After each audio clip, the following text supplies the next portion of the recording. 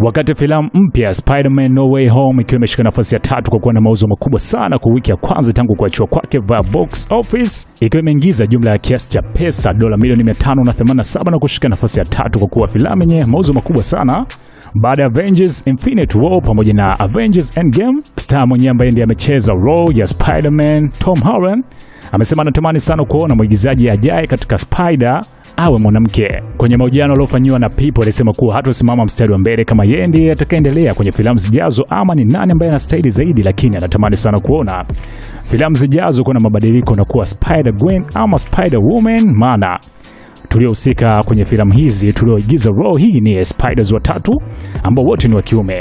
Hapa anamaanisha waigizaji ambao wameweza kuhusu, anawazungumzia watu kama kina toby Maguire, Andrew Garfield pamoja na yeye mwenyewe. So kwa wewe shabiki wa filamu za Spider-Man zote ambazo zilitoka na ukazitizama pamoja na hii hapa, ungependa kuona role ya mwanamke upande wa Spider kutoka kwenye Spider-Man mpaka kuwa Spider-Woman? Shusha komenti yako kibepari. Hapa ni SNS Mini Gen Man.